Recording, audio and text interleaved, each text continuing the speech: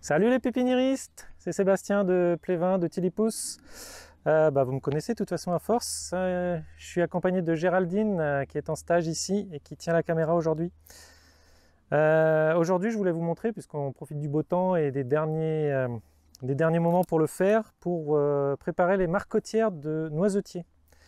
Donc, alors c'est pas réellement des marcotières, c'est plutôt des plants de noisetiers bien installés que je vais marcoter. Et ça va être du marcotage de souche. Donc, bah, c'est parti.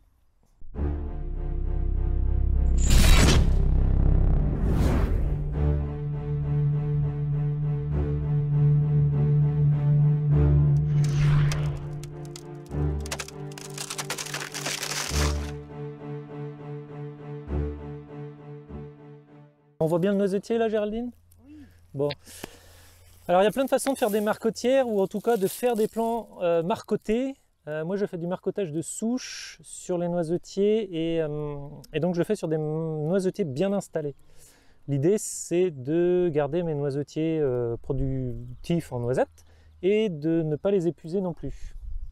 Tiens, il y a l'herboriste du coin qui est en train de passer aussi. Bonjour l'herboriste du coin. Et donc je vais vous montrer comment je prépare ces plants-là au printemps parce que le but là, ça va être de faire pousser de la branche. Donc il faut tailler ça euh, ben là, février-mars, pour que ça fasse du bois, pour que ça pousse à jeunes branches. L'idée c'est que après ici, en juin, on vienne mettre des petites ligatures au pied de jeunes branches comme ça qui auront poussé. Donc ben, pour maximiser la production, ben, on va couper euh, fortement le pied mère pour lui donner envie de rejeter et de faire plein plein plein de jeunes tiges. Donc le, fait de tailler fortement ce pied, ce noisetier, euh, va avoir en fait deux effets parce que vous, n'êtes pas obligé de faire des marcottes et de faire euh, plein de jeunes tiges juste pour les, multiplier. Vous pouvez aussi vous en servir pour faire du fruit. Le noisetier produit de la noisette sur le jeune bois. Donc si je prends une, une branche, la partie la plus vieille de la branche a donné beaucoup de chatons. Voilà. Et les parties les plus jeunes du bois donnent les fleurs femelles, celles qui ont des toutes petites hampes rouges. Alors c'est plus le cas maintenant puisqu'elles ont déjà fleuri. Je ne sais pas si on la voit. Et euh, donc c'est toujours sur le jeune bois. Et donc pour avoir beaucoup de noisettes, il faut beaucoup de jeunes bois. Et donc quand on taille fort un noisetier, qu'on le recèpe, même si on veut, le recéper ça veut dire tout couper à ras, ça fait beaucoup beaucoup de bois et ça produit du coup l'année d'après beaucoup de noisettes. Et donc euh, principe de taille, Principe de taille, déjà l'époque. En fait, quand on taille, euh, on va dire en mars ou en février, on est sur de la taille qui va générer beaucoup de bois. À l'inverse de la taille d'été, qui va plutôt faire l'inverse. Donc, bah là, on est en mars et c'est le bon moment pour tailler. Donc, on va faire un gros ménage sur ce noisetier là de 6 ans. C'est un noisetier qui a 6 ans, qui a bien poussé. On va faire le ménage et puis bah, vous verrez la suite évidemment de, de, la fabrication des, jeunes noisetiers marcotés. Euh, dans le courant de l'année. Euh, du coup, votre meilleur outil, alors vous pouvez utiliser le sécateur, mais vous allez vite tomber sur du trop gros bois. Vous pouvez bien sûr, euh, si vraiment vous êtes euh, pressé, utiliser une tronçonneuse à chaîne par exemple, si vous n'avez pas peur de couper vraiment un peu violemment. Moi, je préfère pas manger à la cantine, mais utiliser ça. Une petite scie la gueule, ça, ça marche très bien. Ça passe assez bien partout. D'ailleurs, je crois que ça peut s'appeler passe-partout de temps en temps. Voilà, je n'ai pas les clés qui vont avec, désolé. Et donc on va tailler, on va tailler fortement, euh, comme si on faisait une taille en fait euh, d'entretien d'un arbre ou d'un arbuste fruitier, c'est-à-dire déjà faire le ménage dans le milieu du plant. Tout ce qui croise, tout ce qui va être trop dense au milieu, eh ben, on va déjà aller sur ça en priorité. Donc ici il y en a beaucoup puisque les, les trois premières branches de celui-ci sont complètement entrecroisées les unes aux autres. Il y a des soudures qui sont en train de se faire de partout. Donc euh, ici, on voit que ça touche dans tous les sens, partout. Donc là, on va, je vais faire le ménage principalement sur ces trois-là.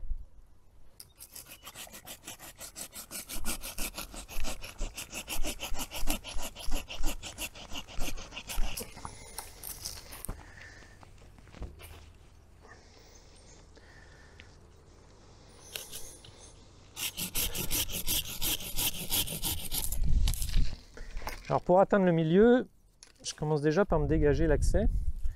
Ça peut être pratique. C'est vraiment le bazar.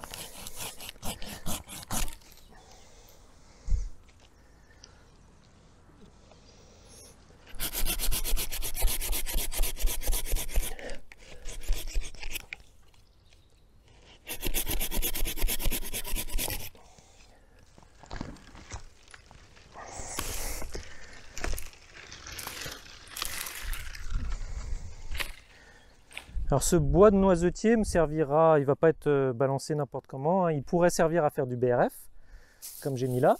Je vous l'ai montré ça dans, la vidéo la semaine dernière. Euh, moi, il va me servir entre autres à faire des petits piquets de 40-45 cm là que je vais mettre tout autour après. Ça servira de, voilà, de bordure décorative certes, mais de système en fait de maintien du BRF pour éviter que les oiseaux balancent tout. Donc ça, je vous le montrerai quand, en temps et en heure. Donc là, faut pas hésiter à y aller euh, drastiquement. hein.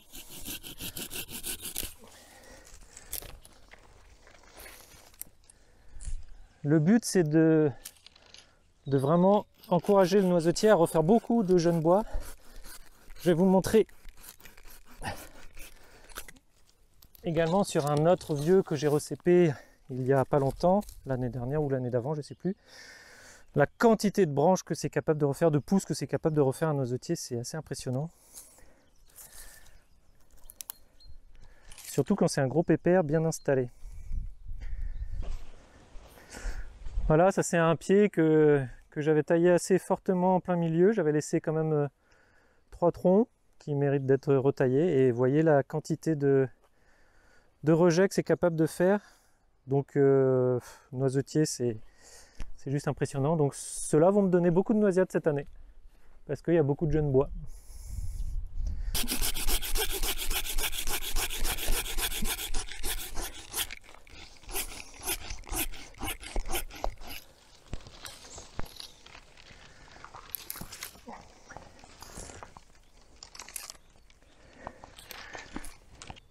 Alors le noisetier c'est également euh, extra pour faire de la vannerie sauvage.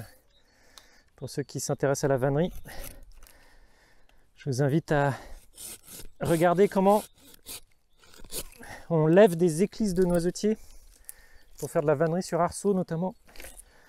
Il y a Bernard Bertrand qui en parle très très bien. Et euh, moi j'aime bien faire des paniers euh, en noisetier, c'est vraiment très joli. Donc quand on a bien dégagé le milieu du, du noisetier, ben, on essaye de, de descendre un maximum les coupes pour que tous les rejets qui viennent du bois là directement, tout ce qui va pousser là, puisse être facilement recouvert après derrière en BRF. En BRF ou en tout cas avec un, substrat léger et respirant. Le BRF marche très bien, mais vous pouvez très bien utiliser autre chose. Et donc euh, bah, l'idée c'est, que ça puisse être assez proche du sol pour ne pas avoir à mettre euh, 50 cm non plus de hauteur. Quoi. Bon, il y en a depuis le temps euh, à me voir couper ça, ils se seraient dit euh, j'aurais mieux fait de prendre la tronçonneuse depuis le début. Mais que nenni, on coupe toujours trop à la tronçonneuse, on se fait toujours avoir.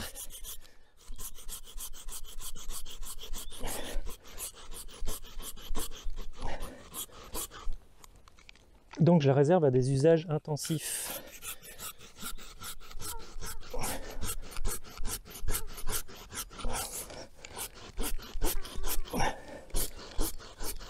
Que nenni, il n'y a personne qui dit ça, que nenni. Bon, moi j'en profite pour nettoyer euh, là où il y a des plaies, là où il y a eu des croisements. Là, il y en a plein en fait. J'ai eu plein de croisements là. C'est un peu embêtant. Voilà. Par exemple, là, c'est une branche qui a frotté, qui a tout usé là. C'est pas malade, mais c'est tout usé. Et du coup, là, il n'y a plus d'écorce là. Donc là, bon, il a quand même eu une belle coupe déjà, donc je vais y aller. Je lui ferai ça l'année prochaine. Dernière étape, euh, bon, elle n'est pas forcément indispensable, je pense. Mais euh, j'ai fait le choix de faire ça. Je tire tous les petits. Je tire tous les petits et les. euh, je veux que ça reparte sur du neuf, entre guillemets. Donc je fais un peu de ménage. Surtout s'ils sont un peu coincés et surtout s'ils sont très petits. Voilà, les moyens et, et les plus gros, j'en laisse une partie. Voilà. Je me dégage la zone pour justement toutes les nouvelles pousses qui vont arriver. Donc là, j'ai encore du BRF de l'année passée. Euh, quand ça va pousser, quand ça va pousser au, travers de tout ça, euh, je pourrais le dégager à un moment donné si je veux. Surtout quand je vais venir mettre euh, mes, petites, mes petits anneaux. Et, euh, et après le remettre surtout, parce qu'il faudra que ce soit recouvert pour pouvoir euh, développer de la racine. Donc bah, on en reparle. Moi c'était aujourd'hui la dernière journée de, de comment dire de livraison de commandes des clients. Donc euh, bah, pour l'instant il m'en reste encore quelques-unes en jauge que les clients ne sont pas venus chercher. Donc bah, ça va être tant pis. Je replante tout dès lundi avec Géraldine. Elle est déjà super contente de planter. Bah, je vais vous souhaiter un bon week-end. Vous avez sûrement une bonne partie d'entre vous commencé vos greffes. Moi, j'ai pas commencé encore. Euh, ça va pas tarder. Mais en fait, comme il y a un coup de froid qui arrive sur la France ce week-end, samedi, dimanche, il va se prolonger sur lundi, mardi, on ne sait pas trop encore. Euh, bah, vous vous rappelez, je vous ai dit que certaines greffes étaient un peu fragiles, euh, pour leur réussite en tout cas était fragile, ou, en tout cas le, craigner le froid pour la réussite de la greffe. Donc c'est notamment pour les abricotiers et les pêchers que vous allez faire plutôt sur Saint-Julien, mais il va falloir de la chaleur. Et donc, euh, ben, moi, j'ai préféré attendre de les faire pour laisser passer ce coup de froid en espérant qu'il fasse un peu meilleur après. Euh, sinon, ben, je, vais, je vais voir comment je me, débrouille. Mais du coup, ben, j'espère que vous pourrez mettre vos petits euh, au chaud le temps que ce coup de froid passe. Kenavo